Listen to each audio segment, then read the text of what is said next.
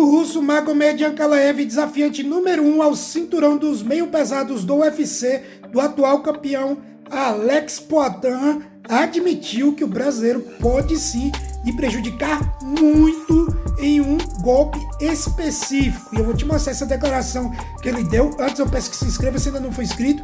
Vai deixando o dedo no like se gostar do conteúdo. E bora lá, abre aspas aí para Magomed Ankalaev. Com aquela velocidade, o Poitin não vai nem encostar em mim. Não, não com as mãos. O máximo que ele pode é acertar o chute baixo fecha aspas. Tá aí o Magomed Ankalaev dando aquela provocada, dizendo que o Poitin é lento com as mãos, mas que com chute baixo ele pode sim atingi-lo. Como a gente já viu, Ian Barrovitch atingiu muito aí o Magomed Ankalaev com chute baixo, quase que levou a luta com isso. Aí depois o russo resolveu levar para baixo, levou com alguma facilidade, dominou, na minha opinião, os três últimos rounds e venceu a luta. Os juízes aí deram empate. Para mim, não tem nem como ver empate. Mas isso é papo para outro vídeo.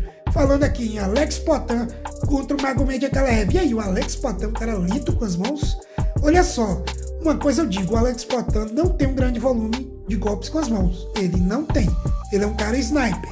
Ele vai te acertando aos poucos. Agora, lento, passa longe de ser lento. Quando ele quer te acertar, meu irmão, quando ele fala é agora, o golpe vem e você nem percebe. Quando você vai ver, você já está acordando lá no hospital. Então o Alex Poitin é um dos lutadores, se não o mais rápido aí da categoria. Ele só não tem um grande volume de golpes. O Ankalaev está errado nessa análise. A menos que ele queira só provocar. Eu acho que é essa a questão. Ele só quer provocar. Sobre o chute baixo, não tem nem como ele dizer que o, o Alex não iria atingir, já que ele foi atingido muito pelo Yabalvich, que é um ótimo lutador, mas não tem um chute baixo tão rápido e tão preciso como o do Pereira.